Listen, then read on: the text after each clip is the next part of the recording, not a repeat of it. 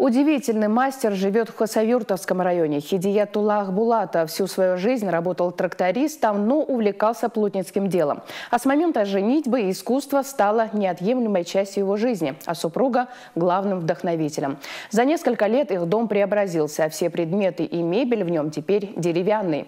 В гостях у плотника побывала Анжела Гасанова. Все как в сказке в доме Хидиятулы Ахбулатова, плотника из Хасаюртовского района. Здесь практически нет ни одного купленного предмета. Все, начиная от стен, заканчивая кухонной утварью, хозяин смастерил самостоятельно. Хидиятула с детства увлекается резьбой по дереву. Самую первую работу сделал в четвертом классе. Это была деревянная ручка. Говорит, что с тех пор всегда носил с собой ножичек и в любую свободную минуту придумывал новые работы. Ведь других увлечений, как у молодежи сегодня, у сельского ребенка не было. А сейчас никто не хочет.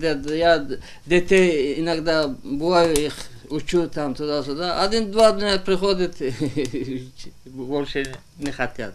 Но дерево не стало делом его жизни. Много лет Хидиятула работал трактористом, а к плотницкому делу относился как к хобби. Сейчас мастер на заслуженном отдыхе создает предметы не только для себя, но и для друзей и родственников. Но главный его заказчик – жена Сахибат, она же его муза. Я даже не поняла сперва, смотрю, что это. Смотрю, не узнала сперва, что это. Потом пригляделась, очки надела, а смотрю, смотрю, роза. Именно с момента их женитьбы дом стал таким уютным. Сахибат придумывает сама, подглядывает в интернете, а потом еще помогает осуществить. Так во время самоизоляции супруги вместе сделали во дворе деревянную беседку. Он у него самое хорошее э, качество есть, он э, сказал, сделал.